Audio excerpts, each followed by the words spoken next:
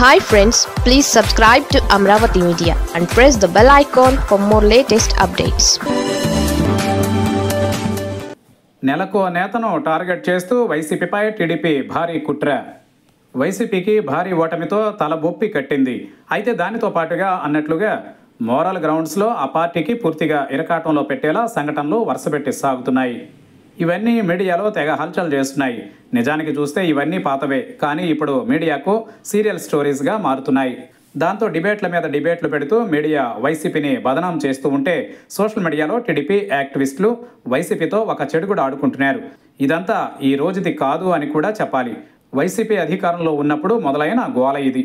ఒక మంత్రి అప్పట్లో అరగంట అన్నారని మరో మాజీ మంత్రి గంట అని ఎవరికో ఫోన్ చేసి మాట్లాడారని మీడియా తెగ గోల పెట్టింది. ఆనాడే కనుక వైసీపీ అధినాయకత్వం వీటి మీద పూర్తి స్థాయి విచారణ చేసి తమ పార్టీ వారికి గట్టిగా కాషన్ ఇచ్చి ఉంటే ఇప్పటికీ అంతా సర్దుకునేదని అంటున్నారు.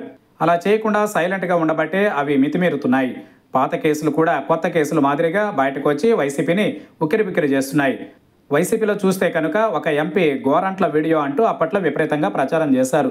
అది కూడా వైసీపీ నైతికతను దెబ్బతీసేలా సాగింది. అదేవిధంగా చూస్తే శ్రీకాకుళం జిల్లాకు చెందిన ఎమ్మెల్సీ దువ్వాడ శ్రీనివాస్ మరో మహిళతో ఉండడం ఆయన భార్య కుమార్తె ఆయన ఇంటి ముందే ఆందోళన చేయడం ఇవన్నీ గత నెలంతా మీడియానే పూర్తి అటెన్షన్లో పెట్టేశాయి.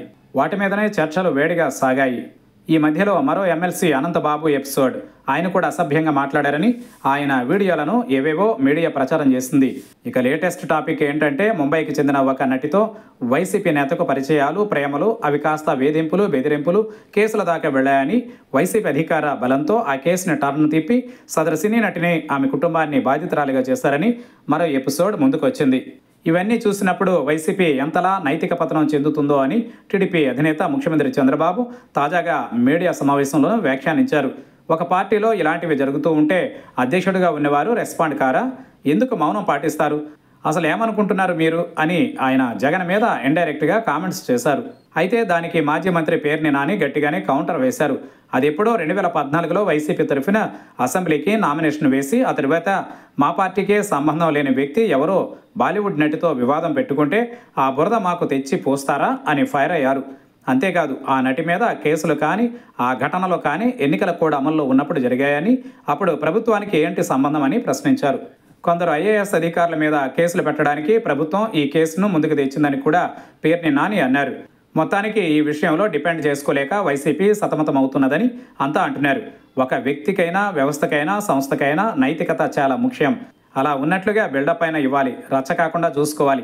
కానీ వైసీపీ మాత్రం అదే పనిగా దొరికిపోతోంది. ఇలాంటి వాటిని ఎలా మేనేజ్ చేయాలో తెలియక జరుగుతోందా?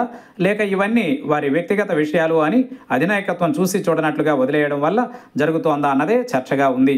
మహాకవి శ్రీశ్రీ చెప్పినట్లుగా ఎవరైనా పబ్లిక్లోకి వస్తే వారి పర్సనల్ అంటూ ఏమీ ఉండదు. అందువల్ల పార్టీలో క్రమశిక్షణ చర్యలు అన్నవి వైసీపీలో మొదట్లోనే గట్టిగా తీసుకుని ఉంటే ఈ సీన్ వచ్చేది కాదని అనేవారు ఉన్నారు. నిజం చెప్పాలంటే ఈ రోజులలో ఎవరూ పత్తిత్తులు కారు.